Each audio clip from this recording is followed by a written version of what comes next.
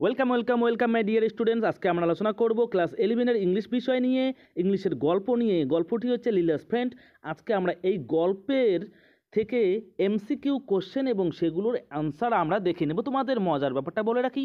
তোমরা কিন্তু শুধুমাত্র এই ভিডিওটি দেখে দেখেই তোমরা তোমাদের সমস্ত এমসিকিউ কোশ্চেনগুলো মুখস্থ করে নিতে পারো। আমি এরকম করে তোমাদের যদি আগ্রহ থাকে, তোমরা যদি চাও, তোমরা কমেন্ট অবশ্যই বলবে। ভালো লাগলে এরকম করে পরবর্তী সমস্ত সাবজেক্টের সমস্ত ইংলিশের গল্প স্টোরি সমস্ত যত এমসিকিউ কোশ্চেন হয়, আমি সেগুলো এমসিকিউ কোশ্চেন আকারে এইভাবে নিয়ে আসব। তোমরা শুধু ভিডিওগুলো দেখেই তোমাদের পড়া মুখস্থ করে নিতে পারো। তোমরা পরীক্ষায় খুব ভালো নাম্বার পাবে। আমি ইম্পর্টেন্ট ইম্পর্টেন্ট কোশ্চেনগুলোই তোমাদের সামনে তুলে ধরবো। তোমরা আজকের এই ভিডিওটি যদি দেখো সম্পূর্ণ, তাহলে নিজেরাই তোমরা বুঝতে পারবে। চলো আমরা আর কোনো রকম কথা না বাড়িয়ে শুরু করে দেই আজকের আলোচনা। আমাদের ফার্স্ট প্রশ্ন। The story Lila's friend is written by A number option R K Narayan B number option O Henry C number option Khushwant Singh D number option C V Raman তোমরা আশা করি এতটুকু তো প্রত্যেককেই জানো, যারা পড়েছো, যারা পড়নি, অবশ্যই আমাকে বলে দিও। আমি তোমাদের এই গল্পটিও পড়িয়ে দেব। তো এখানে সঠিক অ্যান্সারটি হচ্ছে আর কে নারায়ণ। শুধু উত্তরই বলে আমি একটু সামান্য করে হলেও তোমাদের জন্য আলোচনা করব যেন তোমাদের ঘটনাগুলো বা উত্তরগুলো মনে- থাকে। আর কে নারায়ণ হচ্ছে একজন নোবেল জয়ী আমাদের ভারতীয় লেখক। তিনি মালগুদি ডেইস নামে একটা বিখ্যাত তার লেখা রয়েছে। সেই লেখার অন্তর্ভুক্তই হচ্ছে এই লিলাস ফ্রেন্ড গল্পটি। এবারে আমরা দেখে নেই দুই নাম্বার প্রশ্নটি। The story Lila's friend is set in A অর্থাৎ এই গল্পটিতে আমরা জায়গার ঘটনা নিয়ে গল্পটা। তো A number option countryside B number village C number town D big city countryside অর্থাৎ ভিলেজের বা গ্রামের একবারে শেষ প্রান্ত।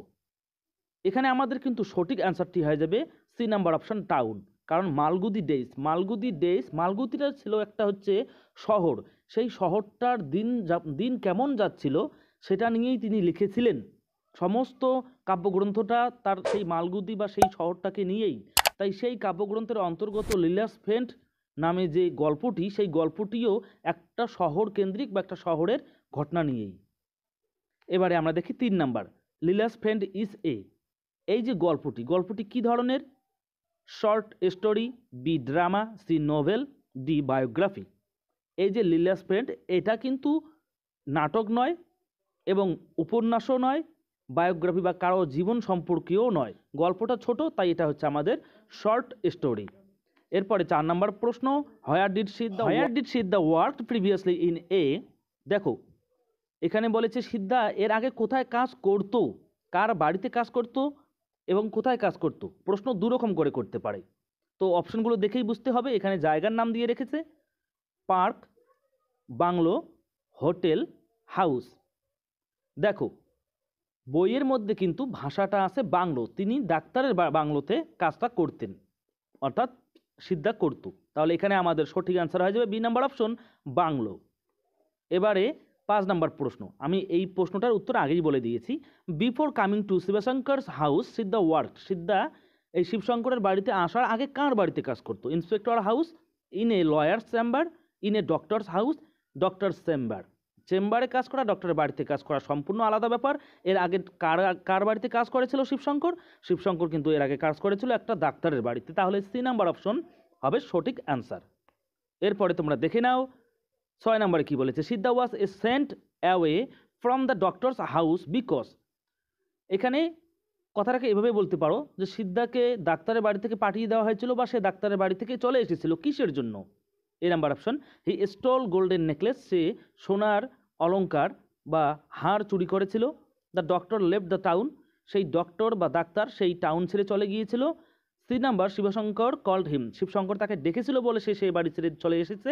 ডি নাম্বারে বলেছে the doctor left the village doctor village ছেড়ে দিয়েছিল। ডক্টর কিন্তু ভিলেজ এখানে ভিলেজের কোনো কথাই নেই। ডাক্তার বা ডক্টর সেই টাউন ছেড়ে গিয়েছিল বলে আমরা জানতে পারি সিদ্ধার মুখ থেকেই।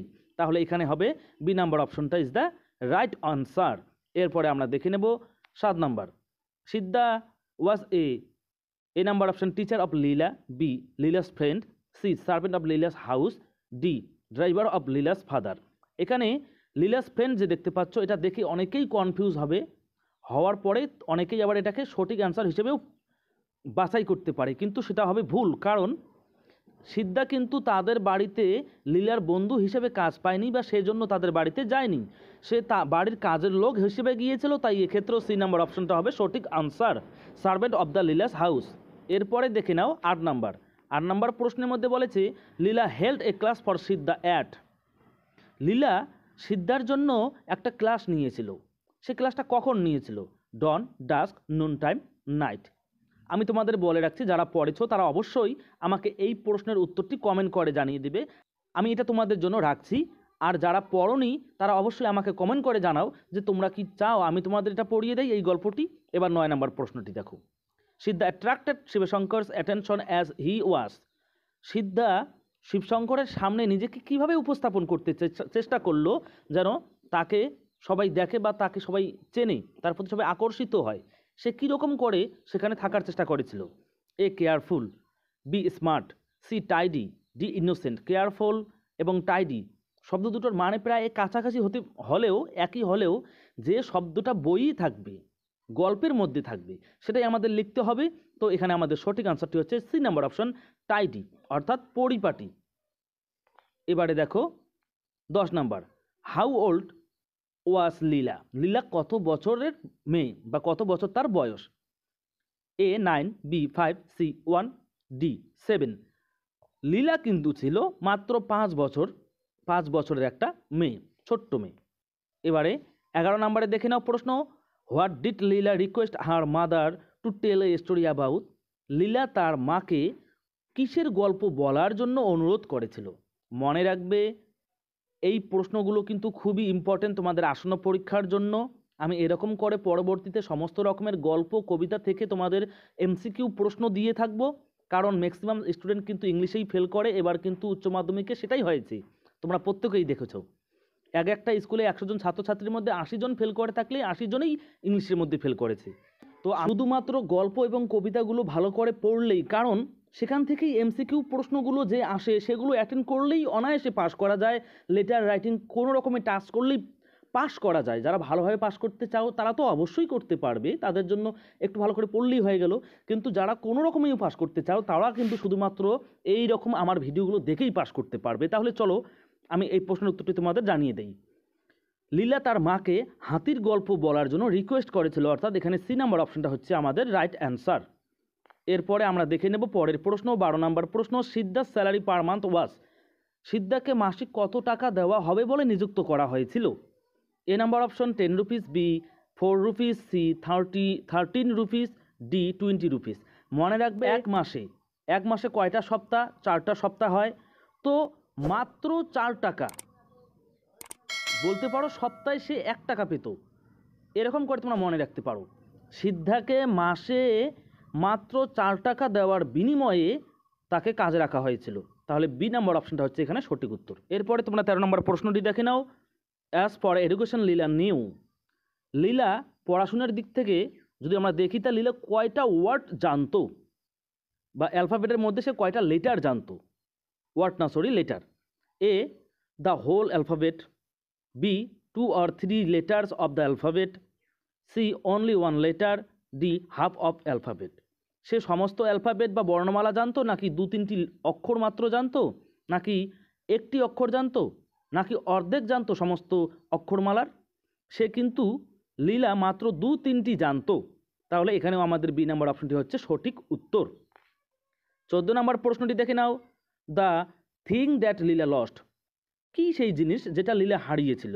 A gold button, B, A gold chain C, A gold ring D gold toy. দেখো এখানেই কিন্তু গল্পটির একদম এক্সট্রিম লেভেলে চলে আসে গল্পটি যখন তার জিনিসটি হারিয়ে যায়। কি হারিয়ে যায়? তার গোল্ড চেন হারিয়ে যায়। অর্থাৎ লীলা হারিয়ে ফেলে A gold chain B number অপশনটা হচ্ছে সঠিক উত্তর। কেমন লাগল? অবশ্যই তোমরা কিন্তু প্রত্যেকেই আমাকে কমেন্ট করে জানাও। এরকম করে তোমাদের ভিডিওগুলো তৈরি করার জন্য তোমরাই যদি আমাকে উৎসাহিত করো, তাহলে কিন্তু সত্যি ভালো লাগে তোমাদের জন্য ভিডিওগুলি তাড়াতাড়ি তৈরি করার জন্য। তোমরা অবশ্যই জানাও এর পরবর্তী ভিডিও কোন টপিকের উপর চাও, কীরকম করে চাও, এবং নতুন হলে অবশ্যই তোমরা প্রত্যেক ভিডিওকে সাবস্ক্রাইব করে দিও, এবং নতুন এবং পুরাতন সবাইকে রিকোয়েস্ট করছি একটা করে লাইক একটা করে কমেন্ট করে দেওয়ার জন্য। পারলে তোমরা তোমাদের প্রিয় বন্ধু বান্ধবীদের সঙ্গে ভিডিওটাকে শেয়ার করে দিও। তাহলে দেখা হচ্ছে পরের যে কোনো রকমের ভিডিও বা ইনফরমেশন নিয়ে। আজকে এখানেই বিদায় নিচ্ছি, আবারও দেখা হবে নতুন কোনো ভিডিওর সঙ্গে। ততক্ষণ পর্যন্ত সবাই ভালো থেকো, সুস্থ থাকো, এবং দেখতে থাকো। এপিটিএফ ইম্পর্টেন্ট চ্যানেল